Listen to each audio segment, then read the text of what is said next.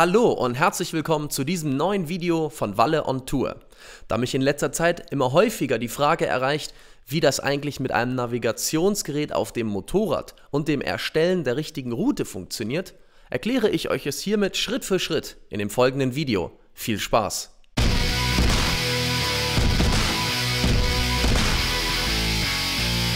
Um meine Routen zu erstellen und später auch auf das Navigationsgerät zu übertragen, brauche ich zwei Programme.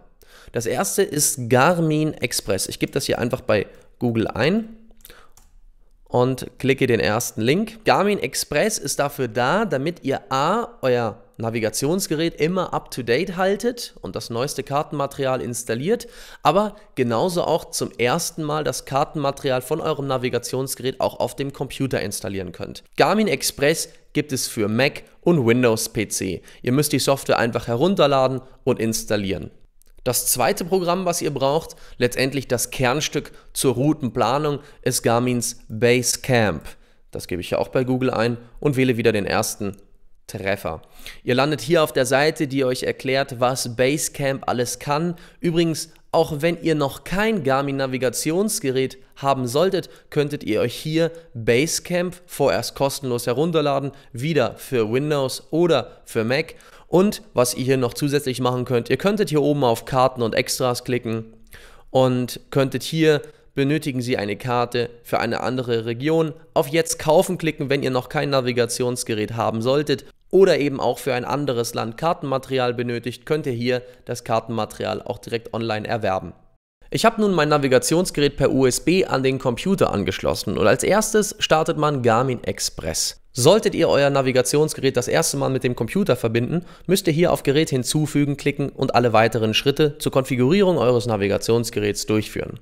Mein Navi ist natürlich schon eingerichtet, hier steht Wallis Navi und hier oben rechts seht ihr eine blaue 1. Wenn ihr mit der Maus rüber bleibt, steht dort Updates verfügbar. Das heißt, für mein Gerät ist irgendein Update, Software oder in diesem Fall Kartenupdate verfügbar. Ihr könnt hier auf Details anzeigen klicken und seht ganz genau, okay, es gibt für die Region Zentraleuropa ein neues Navi-Update mit dieser Versionsnummer, dieser Datengröße und ungefähr dieser Dauer der Installationszeit. In diesem Bildschirm könnt ihr Extras über euer Navigationsgerät aufrufen, zum Beispiel wie viel Speicher noch frei ist und hier rechts könnt ihr Fahrzeugsymbole und andere Stimmen herunterladen, falls ihr gerne ein bisschen herumspielen wollt. So, ich mache das Kartenupdate jetzt erst einmal, drücke hier auf Installieren, annehmen. Ja, jetzt sollte man natürlich nicht mehr das Navigationsgerät vom Computer entfernen und in den nächsten Minuten sollte dann das Kartenupdate heruntergeladen und installiert sein. Sobald euer Navi-Update erfolgreich abgeschlossen wurde, wird das hier oben groß-grün dargestellt. Herzlichen Glückwunsch, das war Schritt 1. Die vielleicht wichtigste Aufgabe von Garmin Express ist es jedoch, das Kartenmaterial nun vom Navigationsgerät auf der Computerfestplatte und somit dann später für Garmins Basecamp zu installieren. Dazu geht ihr hier auf Kartenoptionen und klickt ganz unten auf Computer installieren. Drückt hier auf Annehmen und dann auf Fortfahren. Jetzt wird das Kartenmaterial vom Navigationsgerät auch auf dem Computer installiert. Herzlichen Glückwunsch, du hast es geschafft, Teil 2 überstanden. Und wenn du glaubst, es war bisher ziemlich kompliziert, dann hast du dich geschnitten, denn jetzt wird es erst kompliziert. Wir starten das Herzstück, die Referenz, Garmin's Basecamp Herzlich willkommen. Hier oben links seht ihr einmal euer angeschlossenes Navigationsgerät, hier unten Daten auf eurem Computer, die einzelnen Touren, die ihr so erstellt habt und so weiter und so fort. Aber viel wichtiger sind die Grundeinstellungen, die ihr wählt. Am besten tut ihr das hier oben über den Knopf Einstellungen. Hier habt ihr die Möglichkeit, unterschiedliche Einstellungen eures Basecamps vorzunehmen. Zum Beispiel unter dem Button Anzeige habt ihr die Möglichkeit, eure Anzeigequalität je nach Computerleistung anzupassen. Wichtigster Punkt ist Routing. Das heißt, welches Fortbewegungsmittel habt ihr und wie möchtet ihr, dass Basecamp eure Punkte von A nach B miteinander verknüpft? Ähm, ich wähle hier Motorrad, habe die Routenpräferenz auf kürzeste Strecke gelegt, denn ich möchte ganz gerne einzelne Wegpunkte ziemlich nah einander setzen, um mir selber meine Route auszusuchen und nicht das System entscheiden zu lassen. Ich vermeide Autobahnen und unbefestigte Straßen, weil ich zum Beispiel eine Route auf der Straße, aber eben nicht auf Autobahnen plane. Alles andere könnt ihr hier so einstellen, wie ihr das gerne möchtet. Viel mehr müsst ihr an dieser Stelle nicht mehr einstellen und könnt das Fenster wieder schließen. Hier unten mittig findet ihr euer Navigationswerkzeug, mit dem ihr in die Karte hinein und rauszoomen könnt. Ihr könnt auch nach links oder nach rechts oder nach oben oder nach unten navigieren. Ihr könnt die Detailstufe der Darstellung erhöhen oder verringern, um zum Beispiel auch das Laden zwischen den einzelnen Bewegungen zu beschleunigen. Hier oben findet ihr einige wichtige Button, die ich immer wieder verwenden werde gleich bei der Erstellung einer Beispielroute. Um eine gewisse Ordnung und Struktur bei der Planung eurer Routen aufzubauen, empfehle ich euch in diesem linken Bereich mit der rechten Maustaste zu klicken und auf Neuer Listenordner zu klicken. Diesen Ordner nenne ich jetzt als Beispiel Sardinienurlaub 2016. Und innerhalb dieses Ordners erstelle ich nun mit der rechten Maustaste eine neue Liste, also eine neue Routenliste. Zum Beispiel Tag 1 auf Sardinien. Um mir nun schnell auf der Karte Sardinien anzeigen zu können, wähle ich hier oben das Lupen- oder Zoom-Werkzeug und ziehe nun mit der linken Maustaste gedrückten Bereich um Sardinien. In der Regel weiß ich ja schon, wie ich auf die Insel komme, nämlich hier oben über den Hafen in Aranci. Ich sehe sogar hier im Kartenmaterial die genaue Fährroute meiner Fähre aus Livorno, sollte ich mich für diese Fähre entscheiden. Ich klicke nun hier oben auf das Wegpunkt-Werkzeug und entscheide mich für einen Wegpunkt ziemlich nah im Bereich des Hafens. Der Wegpunkt wird automatisch benannt nach der Straße und wird auch hier unten bei meiner Liste Tag 1 schon als Wegpunkt angezeigt. Nun wähle ich hier das Handwerkzeug, um mich durch die Karte zu navigieren und schon seht ihr hier den ersten Ort, an dem ich vielleicht morgens frühstücken möchte. Ihr seht auch, dass hier einzelne Point of Interest, also die sogenannten POIs, angezeigt werden. Ähm, darunter befinden sich sicherlich auch ganz gute Restaurants, aber woher weiß ich nun, welches Restaurant hier wirklich gut oder nicht so gut ist? Dazu verwende ich immer die Internetseite von TripAdvisor. Gebt dazu einfach nur TripAdvisor bei Google ein und geht auf die Homepage. So, ich möchte gerne ein gutes Restaurant finden und zwar am Golfo Aranci. Ah, super. Ich komme also an und gleich das bestbewerteste Restaurant ist eine Eisbude. Da möchte ich natürlich hin. Hier wird nun eine Adresse angezeigt und auch einen Kartenausschnitt. Natürlich könnte ich jetzt diese Adresse hier oben ins Suchfenster bei Basecamp eingeben, nur oftmals habe ich es schon erlebt, gerade bei speziellen Locations, dass diese als Point of Interest vielleicht nicht in Garmin's Basecamp verfügbar sind. Wenn man es ganz genau wissen möchte, gibt es folgenden Trick.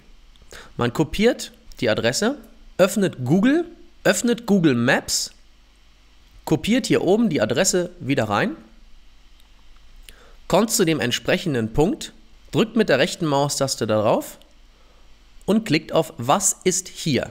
Dann bekommt man hier unten die genauen GPS-Koordinaten dieses Punktes. Klickt einfach auf die GPS-Koordinaten drauf, die dann hier eingefügt werden.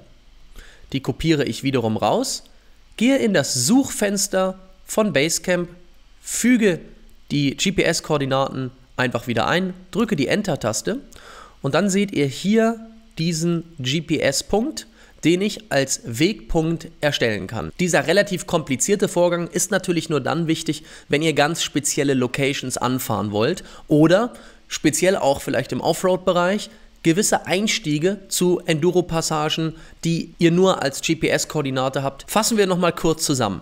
Wir sind am Hafen angekommen, wir haben unseren ersten Wegpunkt hier gesetzt um erstmal vom Schiff runterzufahren und danach gehen wir hier zur Eisdiele. Okay, wir zoomen jetzt hier einmal aus dem Kartenmaterial raus, denn wir wollen ja auch nicht nur essen und chillen, wir wollen ja auch ein bisschen Motorrad fahren und wollen uns vielleicht ein bisschen die Umgebung hier im Norden Sardiniens angucken, um herauszufinden, welche Straßen wir vielleicht gut finden. Ich sehe jetzt hier schon mal ähm, eine schöne Straße, die relativ kurvig ist, die hier hochführt in die Mitte der Insel. Und hier ist beginnt das schöne Geschnörkel Sardiniens, ähm, wo ich ganz gerne lang fahren möchte. Das heißt, um jetzt einzelne Wegpunkte zu setzen, nehme ich einfach hier wieder das Wegpunktwerkzeug. Was ich euch empfehle ist, nicht einfach jetzt blind auf diese Straße zu klicken, sondern vorher tatsächlich vielleicht diesen Ort etwas zu vergrößern und am Rande des Ortes dann einen Wegpunkt zu setzen, zum Beispiel auf dieser Straße. Der Wegpunkt ist gesetzt und ich bewege mich einfach weiter dorthin, wo ich gerne fahren möchte, weil es mir einfach von der Routendarstellung her gefällt. Hier zum Beispiel eine sehr kurvige Straße. Wähle ich auch einen Wegpunkt aus. Und irgendwann möchte ich ja dann auch am Ziel meiner Träume ankommen, in dem Ort, wo ich gerne übernachten möchte. Und wer siehe da, der bekannte Ort Abertax. Auch hier könnte ich jetzt natürlich ein spezielles Hotel mit GPS-Koordinaten auswählen, aber ich möchte eigentlich erstmal nur an den schönen Strand und lasse mich bis zu dieser kleinen Gasse führen. So, im Prinzip seht ihr jetzt hier meine Wegpunktliste. Es ist noch keine Route erstellt worden und ihr könnt unsere fünf Wegpunkte unten links sehen. Um jetzt aus den einzelnen Wegpunkten eine Route zu erstellen, braucht ihr hier oben das Routing-Werkzeug. Dieses Fenster könnt ihr erst einmal schließen und wählt euren ersten Routenpunkt aus. Den seht ihr hier. Da klicke ich drauf, klicke dann, ihr seht, es entsteht eine Linie, klicke dann auf meinen zweiten Routenpunkt dort und gehe dann zu meinem dritten Routenpunkt, den ich hier oben in den Bergen gesetzt hatte. Dort, an der Stelle. Klicke dort drauf und suche dann, indem ich jetzt nochmal rauszoome aus der Karte, meinen nächsten Wegpunkt, den ich gesetzt habe, der war hier. Und zum Schluss wähle ich meinen letzten Wegpunkt hier in dieser Gasse in Abatax. Ich mache das Routing-Werkzeug erst einmal wieder aus, gehe wieder hier oben auf das Handwerkzeug und zoome einmal aus der Karte raus. Ihr seht jetzt, dass eine Route entstanden ist von dem ersten bis zum letzten Wegpunkt über die einzelnen Zwischenwegpunkte, die ich gesetzt habe. Ihr seht hier unten auch die genaue Distanz, 212 Kilometer und die ungefähre gesamte Fahrzeit ohne Pausen, ohne Staus, ohne Zwischenfälle, 3 Stunden 45. Die Route, die hier unten unter den fünf Wegpunkten dargestellt wird, wurde natürlich vom Computer selber berechnet. Aber ich könnte diese Route auch noch verändern. Nehmen wir zum Beispiel an, wir möchten nicht diesen Bereich fahren, sondern eher hier links herum. Dann würden wir mit dem Handwerkzeug einfach über der bestehenden Route schweben. Und jetzt seht ihr schon den Informationstext. Halten Sie die Taste Alt gedrückt und ziehen Sie, um diese Route zu ändern. Das bedeutet also, wenn ich jetzt auf meiner Tastatur auf dem Mac diese Symboltaste drücke und dann die ganze Route zum Beispiel hier auf diese gelbe Straße verschiebe, dann ändert sich im Prinzip die Routenführung zu meinem Wegpunkt.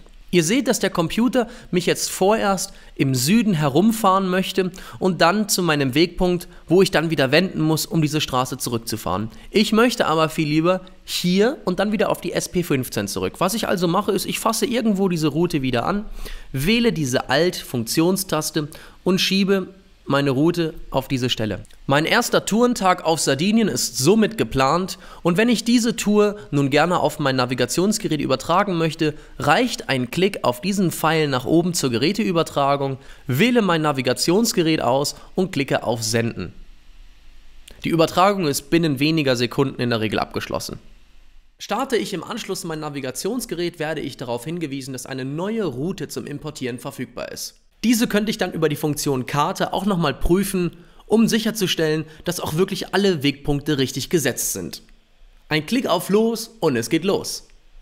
Wie im echten Leben auch führt nicht nur ein Weg zum Ziel. So könntet ihr zum Beispiel auch einfach nur das Routing-Werkzeug wählen, schließt dieses kleine Fenster, wählt euren Startpunkt hier am Golfo Aranchi aus, wählt dann euren ersten Routenpunkt und wir wollen dann in Olbia im Stadtzentrum ankommen. Natürlich könnt ihr auch so eure Route machen, habt dann jedoch das Problem, dass ihr nicht einzelne Wegpunkte hier unten links in eurer Tagesliste seht. Auf dem Navigationsgerät seht ihr dann schon einzelne Punkte.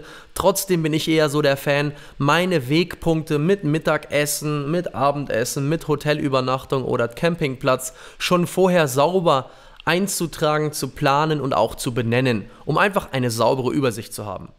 Das war's auch schon wieder mit einer neuen Ausgabe von Walle on Tour. Bitte vergesst nicht, klickt auf Gefällt mir bei Facebook, denn hier kriegt ihr immer alle neuesten Informationen, Videos, Fotos, Touren und Events. Genauso kostenlos abonnieren bei YouTube, um immer alle meine Videos in Full HD und Top-Qualität zu genießen. Viel Spaß und bis bald, euer Walle.